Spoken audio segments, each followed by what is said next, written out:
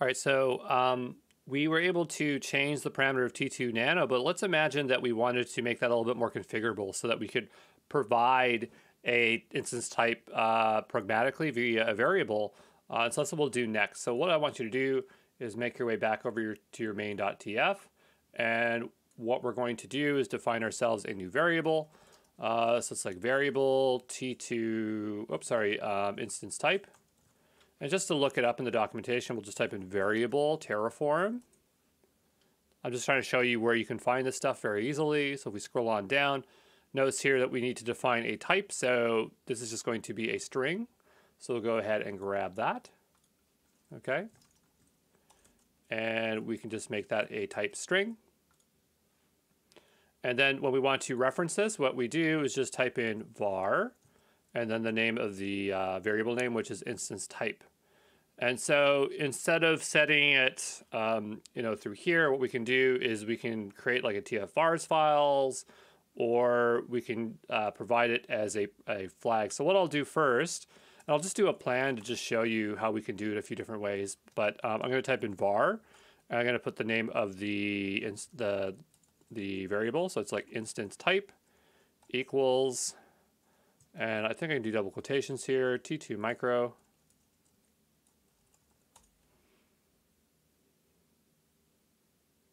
And we'll see what we get as a plan here.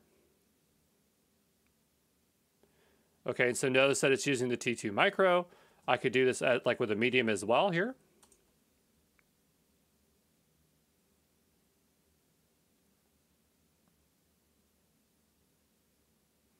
Okay, so that's just one way of changing it. Another thing we can do is create ourselves a terraform.tf vars files that allows us to set a bunch of variables. So I'm going to go ahead and do that. So what we'll do is just create a new file here and we'll type in terraform.tfvars. And we'll say instance type equals T2 large. Again, I'm not going to execute this. I just want to show you in the plan that's going to show up.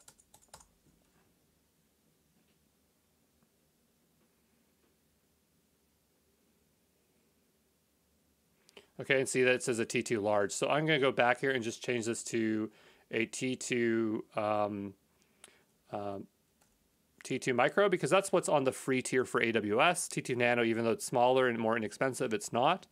Uh, so if you are in the free tier, I want to keep you in that so you save any money or have no spend. Uh, notice over here on the left-hand side that we have this TF state file. This has been uh, generated out. Notice that it's version 4 because every time uh, we ran this, it, it has a new iteration, okay? Um, and this is basically defining the current state of our uh, infrastructure. So if you go through here, notice that it says type AWS instance, my server, what provider it's using, what its schema version is, the AMI here, the reference to the AMI, and all the properties. And these are all the properties we basically saw here. Uh, like if we scroll up, notice all these things here, they're pretty much all defined in here, exactly how it's going to be defined. You aren't ever supposed to uh, manually modify this file, um, but it is something visible you can look at. And when we do deploy, um, it is going to show us the uh, a backup here. So if we um, if we ever happen to lose our TF state file or we want to go, uh, uh, we can always grab that backup file. Okay. Um, but uh, yeah, so what I want to do here is now that I have that TF-vars in place, I'm just going to go ahead and actually run apply. And actually, I'm going to run plan first, sorry. Just let's see this as T2 micro. Okay, it says T2 micro. And what we can do is just do terraform apply. And this time I'm just going to do hyphen auto approve. You probably rarely want to do this, but if you just want to skip that yes process, you're like you know it's going to be fine, you can use that auto approve flag to do that, okay? So here it says the T2 micro, and it's just starting to modify it, okay?